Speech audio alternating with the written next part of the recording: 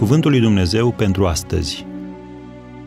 Întoarce-te la Cuvântul lui Dumnezeu.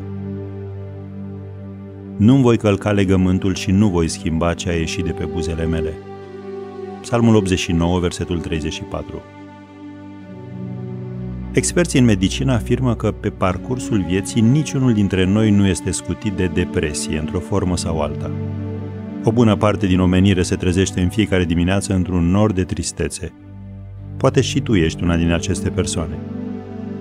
Într-o carte pentru copii, intitulată Alexander și ziua teribilă, oribilă, îngrozitoare și bună de nimic, Alexander adorme cu guma de mestecat în gură și se trezește dimineața cu ea în păr, din cutia de cereale de la micul dejun lipsește tocmai jucăria din interior, la școală nu reușește să o impresioneze deloc pe învățătoare, în ciuda strădanilor sale, se hotărăște de mai multe ori să se mute în Australia.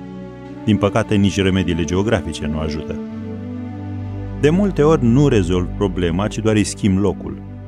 Așadar, ce-i de făcut?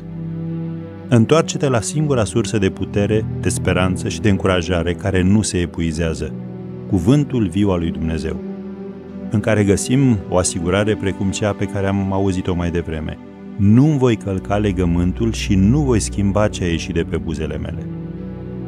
Dacă te simți fără putere astăzi, iată alte câteva versete pe care te poți baza.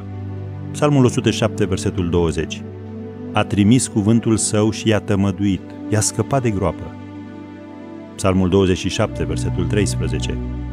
O, dacă n-aș fi încredințat că voi vedea bunătatea Domnului pe pământul celor vii. Psalmul 86, versetul 7. Te chem în ziua necazului meu, căci mă asculți. Isaia, capitolul 59, versetul 1. Nu, mâna Domnului nu este prea scurtă ca să mântuiască, nici urechea lui prea tare ca să audă. Și Psalmul 71, versetul 16. Voi spune lucrările tale cele puternice, Doamne Dumnezeule. Din aceste câteva versete ai aflat, cred, cum te poate încuraja și astăzi Scriptura.